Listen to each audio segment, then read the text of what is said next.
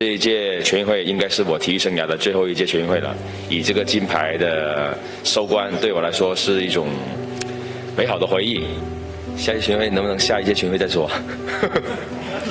呃，下一届全运会的话，确实在在我们呃大湾大湾区举行，其实是一个非常好的机会，因为全运会在广东已经很多年没有举办过了，应该是零一年的时候举办过一次，然后现在已经是过去二十多年了。其实，